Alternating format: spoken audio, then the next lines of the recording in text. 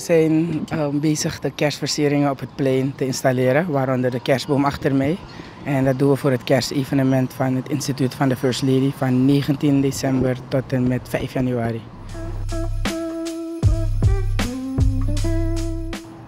Wie is we? We zijn de bedrijven, um, die vallen onder mij, waaronder de molen, VSU, Caricom Livestock Farm, Food Lab, Alade Pasta. Het zijn een scala aan Surinaamse productiebedrijven. En we, we zijn eigenlijk al een paar jaren met de First Lady bezig in diverse sociale projecten. Het past binnen het karakter van onze bedrijven. We hebben los van een commercieel ook een maatschappelijk karakter. En we hebben er dit jaar voor gekozen in plaats van een eindejaarsafsluiting voor de bedrijven iets toch terug te doen voor geheel Suriname, aangezien onze bedrijven ook in Suriname breed gedragen worden.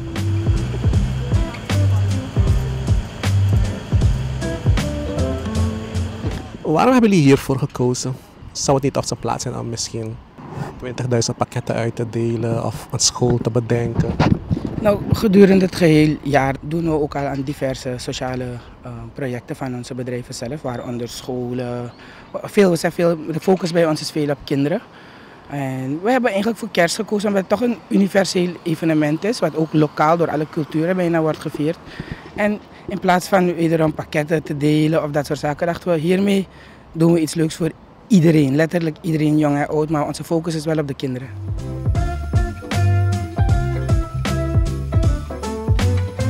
Hoeveel heeft dit project jullie gekost?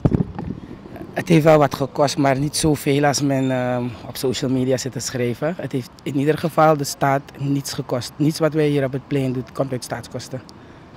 Nog een keer? Niets wat hier gebeurt, komt uit staatskosten.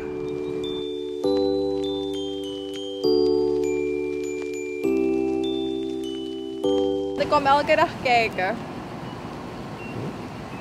En vordert het goed? Ja. ja, beter dan ik verwacht had. We wilden niet tweedehandse dingen hebben zoals al die keren daarvoor. Het idee is in 2020 gestart dat voor onze Surinamers er een plek moet zijn voor onze kinderen dat ze die kerstherinneringen kunnen hebben. En niet langs de woning van rijke luis stoppen om foto te maken. Daar is niet waar je ze een waardig bestaan geeft. Hier, dit is van hun, dit is, wordt speciaal georganiseerd voor hun. En met zero gelden van de staat. Ik ben blij dat er um, Surinamers zijn die echt een hart dragen voor onze jeugd. En die hieraan meewerken. Ik ben heel trots op onze Surinamers. Door Surinamers voor Suriname.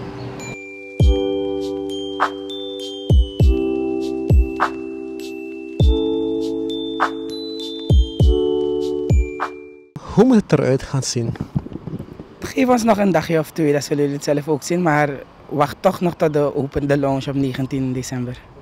Dit jaar zal de focus, behalve um, op de kerstviering, gewoon zijn om te gaan proberen door middel van met de lichte kleuren te spelen. Dan willen we een, een, een wintersfeer in het zomersland creëren. Dus dan speel je veel met wat ze noemen cool white, een beetje blauwachtig licht. Dus dat gaan we proberen na te bootsen. Maar natuurlijk gaat het wel een kleurrijk event blijven.